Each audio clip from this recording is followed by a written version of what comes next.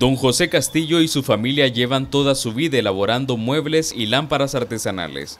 Ellos viven en la ciudad de Catarina, ubicada a más de 30 kilómetros de Managua. Las ventas no están muy bien.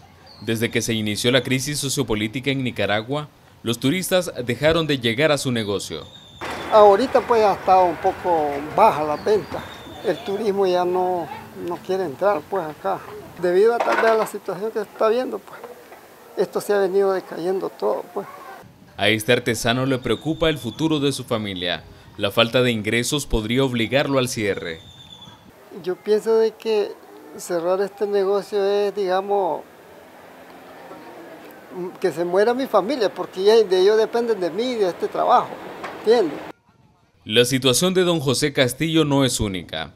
Según un estudio realizado por la Fundación Nicaragüense para el Desarrollo Económico y Social, más de 400.000 personas han perdido sus empleos en casi un año de conflicto social.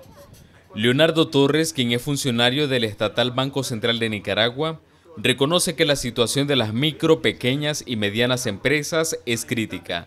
Él asegura que el gobierno del presidente Daniel Ortega trabaja en un plan para rescatar el turismo.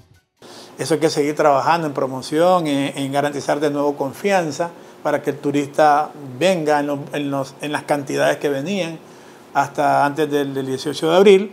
Entonces, eh, esa reactivación va a llevar su tiempo. Expertos advierten que en el año 2019 la economía de Nicaragua podría caer hasta un 10% si no se logran acuerdos entre el gobierno y la oposición para resolver la crisis. Mientras tanto, don José Castillo seguirá elaborando sus artesanías, con la esperanza de que su situación pueda mejorar. Donaldo Hernández, Voz de América, Nicaragua.